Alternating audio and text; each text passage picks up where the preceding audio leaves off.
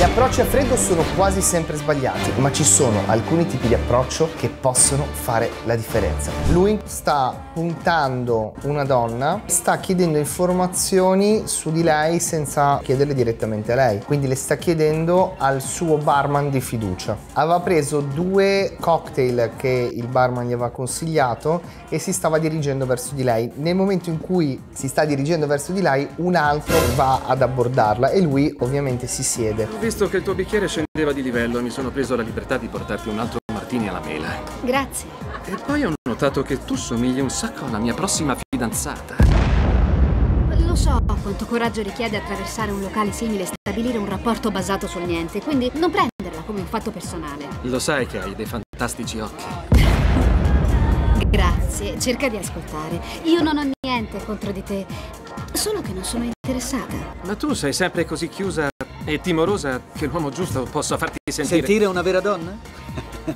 Scusa il ritardo, amore, non trovavo un taxi. Com'è andata la riunione? Qua è un po' da film, però lui va a rompere lo schema in maniera geniale e fa finta di essere il suo ragazzo. È molto complicato farlo perché la donna ti deve capire, deve capire perché sei andato lì, perché ti spacci per il suo fidanzato, però è possibile farlo anche nella realtà. Da un certo punto di vista è molto difficile per un uomo anche solo pensare di avvicinarsi a una donna come lei. Qui fa un errore che è quello di darle tanto valore a una donna che ha già un ego smisurato, è un erroraccio, vai solo a confermare che lei ha un valore più alto di te. Questo è un approccio molto da pick up artist, da artista del rimorchio, che io sconsiglio. Niente orecchini, tacchi quasi spianati, capelli tirati indietro.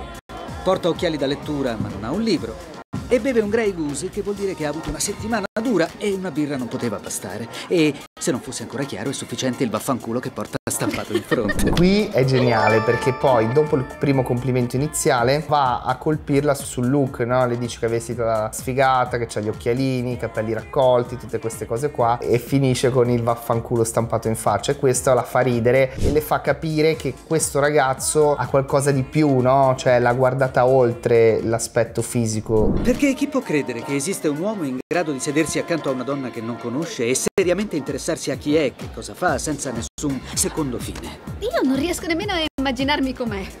E che cosa direbbe un tipo del genere? Lui va a distaccarsi da tutti gli altri uomini e le dice non sono qui solo per il tuo aspetto, sono qui per conoscerti, sono qui per cercare di andare oltre. Beh, direbbe mi chiamo Alex Hitchens e sono un consulente. Ma a lei non interesserebbe perché probabilmente non vede l'ora che lui si tolga dai piedi. Ritenendo che pure lui è come tutti gli altri. Il che, come la vita le ha insegnato, è una virtuale certezza. Ma poi lui le chiederebbe come si chiama e che cosa fa per vivere e lei potrebbe mandarlo al diavolo. O potrebbe dire... Mi chiamo Sara Melas. Tengo la rubrica pettegolezzi sullo standard. E allora lui farebbe tante domande intelligenti in proposito perché è seriamente, ancorché insolitamente interessato. No. No. Sarebbe interessato, ma capirebbe che non c'è nessun modo al mondo di poterla convincere che fa sul serio. Qui lui sta lavorando sulla convinzione limitante che ha lei che tutti gli uomini sono interessati al sesso, no? Sta andando a, a superare le sue obiezioni, le dice guarda, tanto secondo te non sarò mai interessato a quello che sei realmente, ma sono come tutti gli altri, no? E vedete questo gioco che piano piano la sta facendo aprire. Lui sta anticipando quelle che sono le sue perplessità, i suoi dubbi, le sue barriere, no? E questa cosa comunque fa andare avanti la conversazione. Potrebbe essere spiritoso, affascinante, piacevolmente originale. Non aiuterebbe. Non è odioso quando succede così. Non direi. Probabilmente i due continuerebbero a vivere la loro vita come la vivevano prima. E penso anche che se la caverebbero. Sta sminuendo quello che potrebbe accadere, no? Praticamente la sta scaricando lui da genio. Te le ha fatto vedere, le ha superato tutte le sue obiezioni, tutto quello che, che lei stava pensando in quel momento, l'ha fatta sentire capita e compresa, quindi ha triggerato quella che è la sua attenzione e in quel momento prende e fa la scadenza programmata come diceva Mystery no? che è quel momento in cui lui va via e la lascia lì al picco emozionale, nel momento del picco emozionale. Quando lei stava per aprirsi, lui prende e se ne va via e lei si sente sconfitta, no?